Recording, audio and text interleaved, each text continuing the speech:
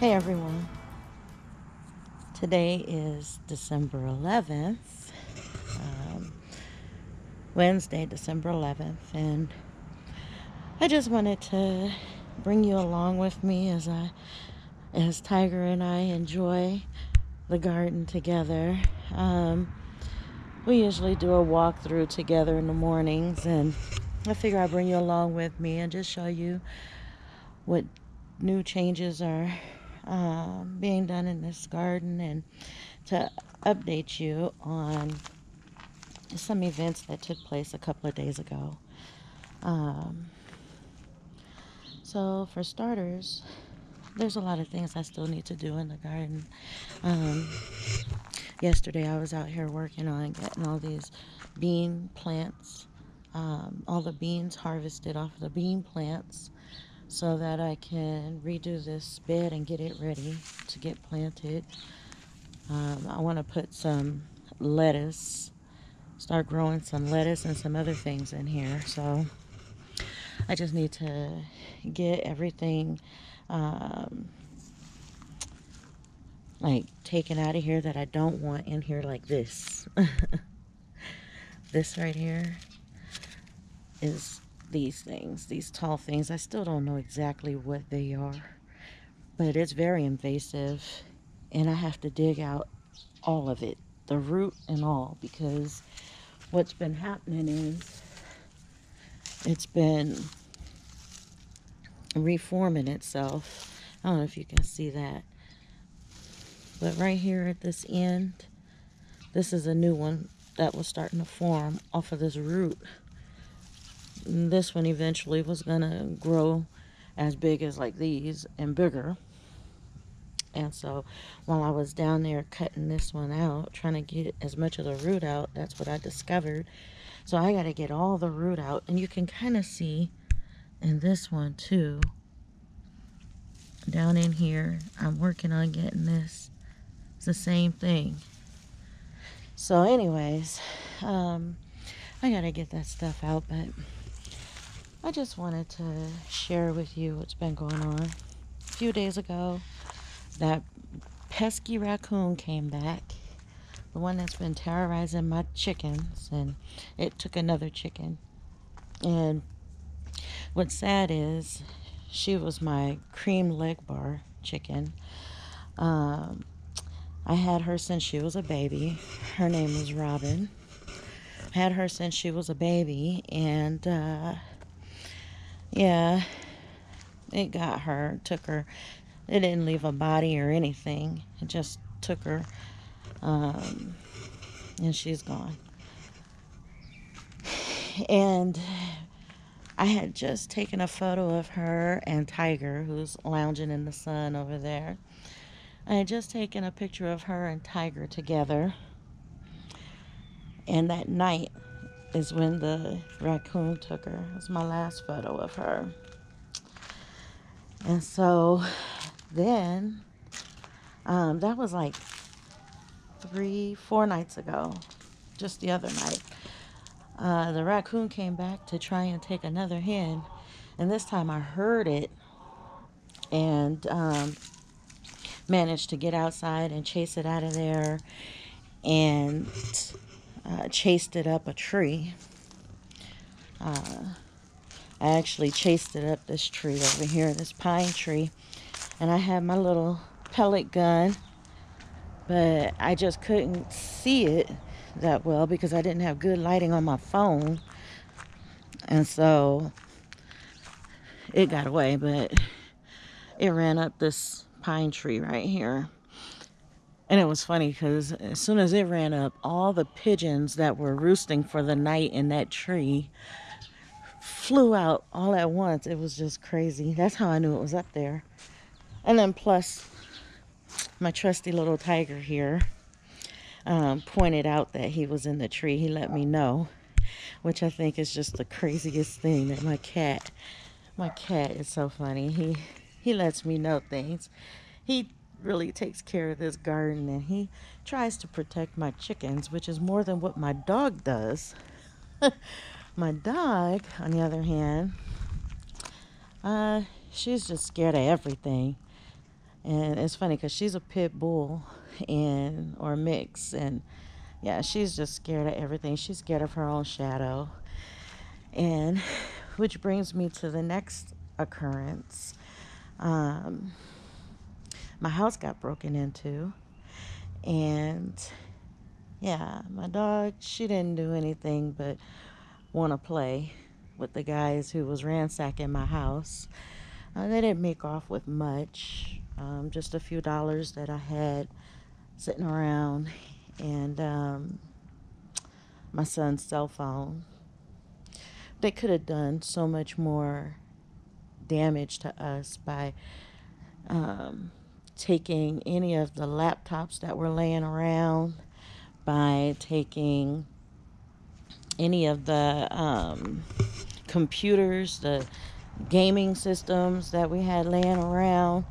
Um, they took the cash out of my wallet, but they left my wallet and the my checkbook and my credit cards and my ID was all left in my wallet. They just took the cash. So I mean, it could have been so much worse, but yeah, they uh, they it was not even late when they broke in. It was six o'clock. Um, we had left to go sing in our uh, Christmas musical at church, and my neighbors. Um, they started at my neighbor's house and then made their way over this way to my house. And so my neighbors were alerted and they went on ahead and effectively chased them out. Both of my neighbors, the neighbors to my right and to my left. So that was cool. Well, we went out and purchased this uh, motion light, floodlight right here. Um, but yeah, that I thought that was really cool. I have some really good neighbors. You know, they they really looked out for our house and everything. They thought something had happened to us because we weren't we all have each other's numbers and we weren't answering the phone at the time when they were trying to reach us, but it was because we were on stage singing.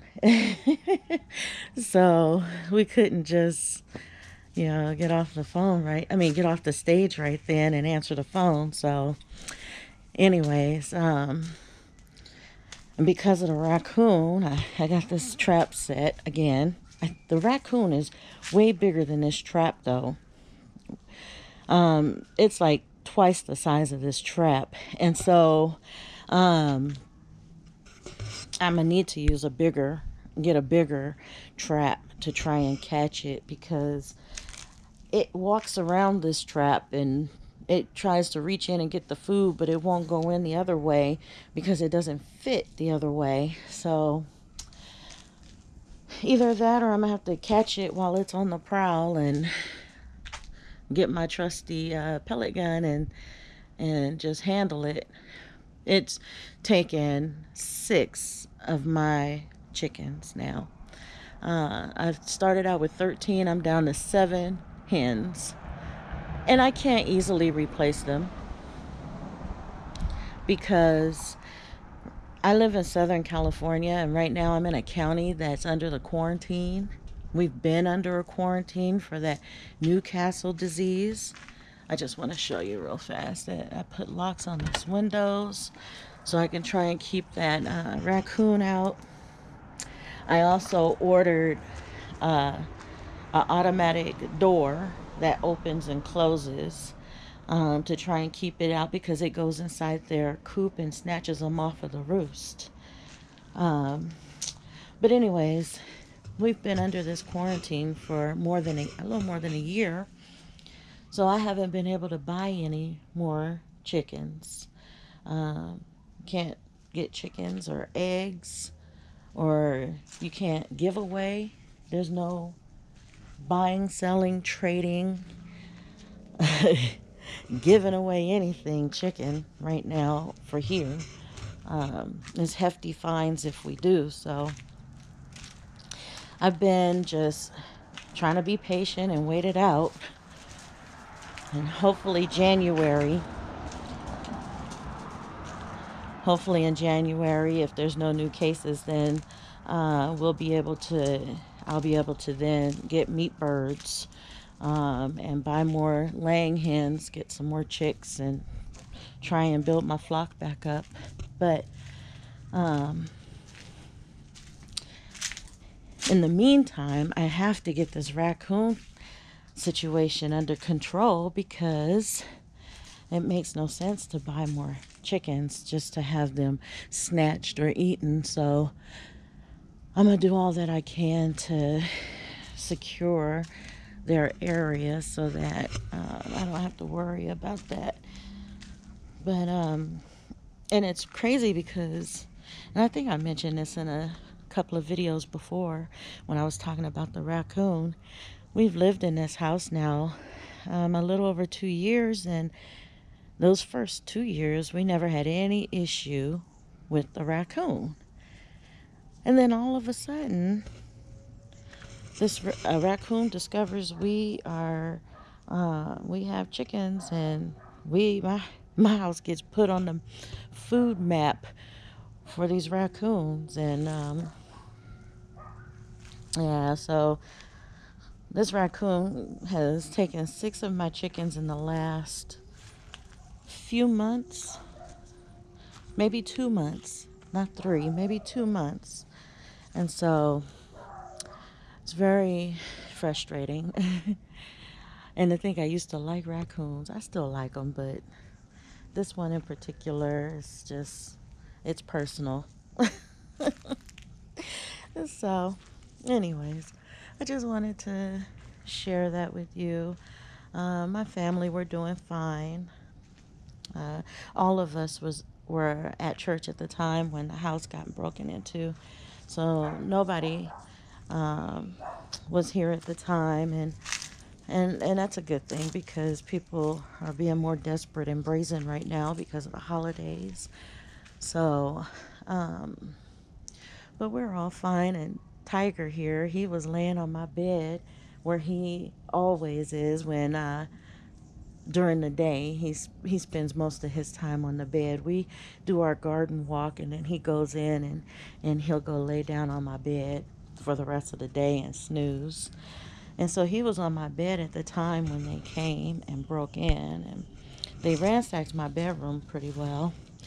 And so I'm sure it was a fright for him.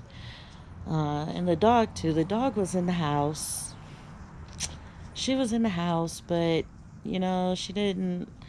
My neighbor said they didn't hear her bark or anything. and then the police officers, there was several of them that responded when we called and told them we saw someone on our camera in our backyard um, and we weren't home. But um, the officers that responded, they loved my dog. You know, they were loving on her and playing with her, and she's a friendly dog. I wish she was more territorial as far as, you know, keeping people out of the house, but to her, everything is playtime. so, uh, and it's funny because they also sent the, not only did they send several patrol units, but they also sent a helicopter and everything. They were really trying to get these guys. I think these are the same guys that has hit a few other homes in my area. So, yeah, but uh, I take time to come out here and pray and also to, you know, just relax and take my mind off of some things and after all the negatives, this is a positive.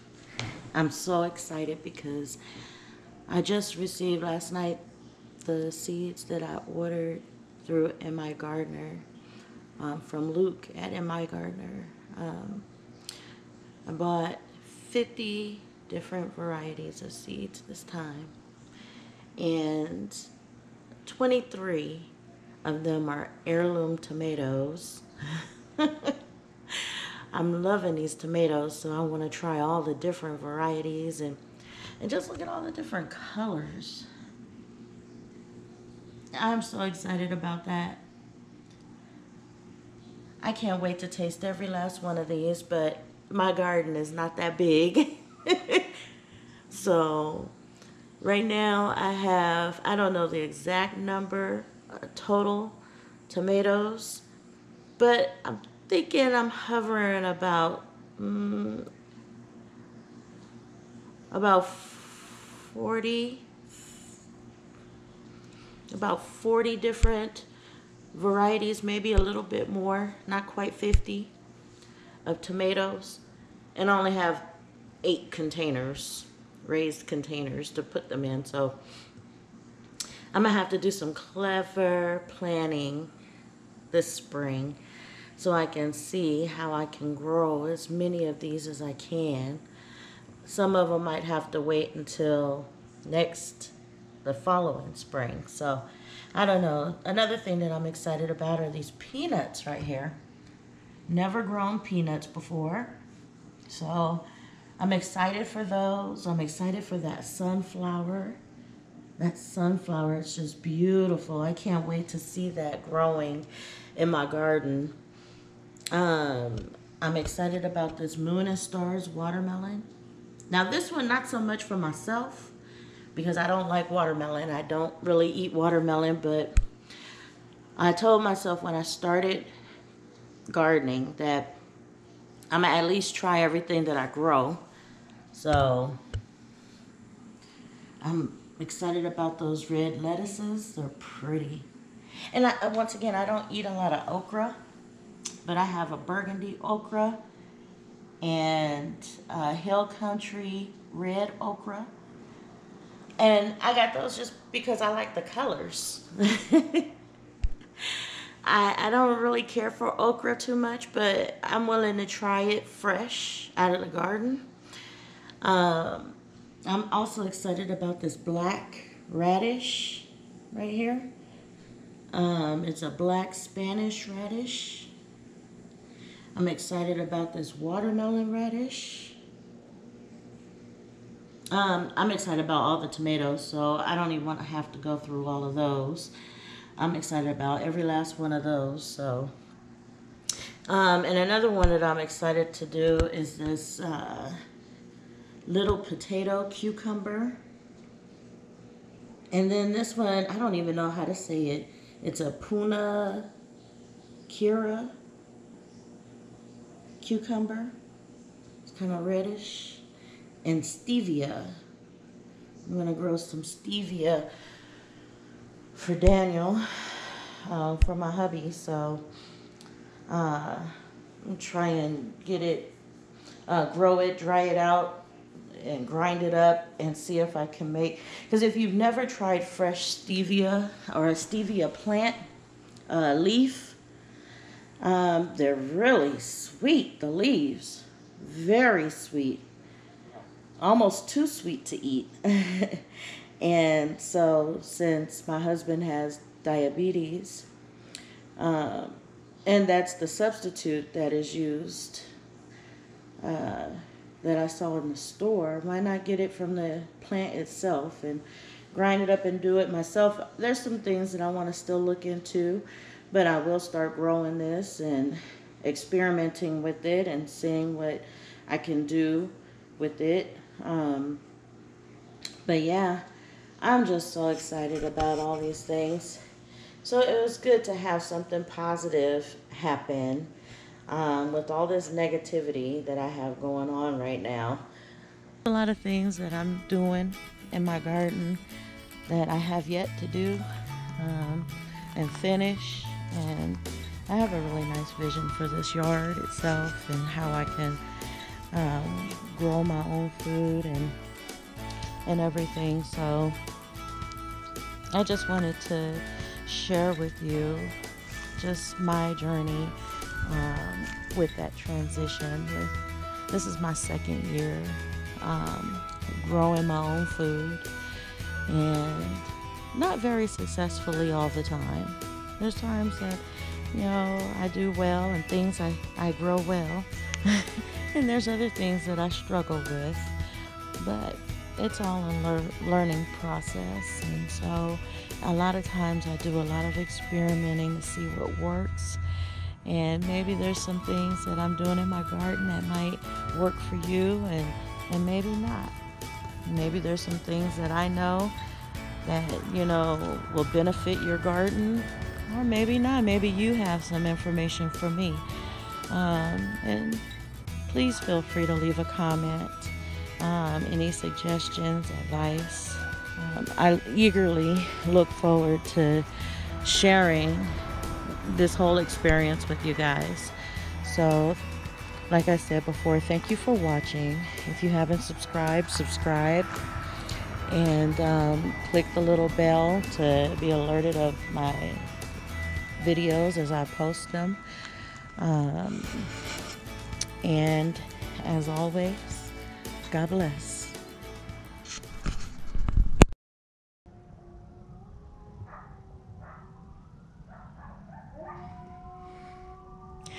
My neighbor's dogs are howling because of the sirens. It never fails whenever I'm trying to videotape something.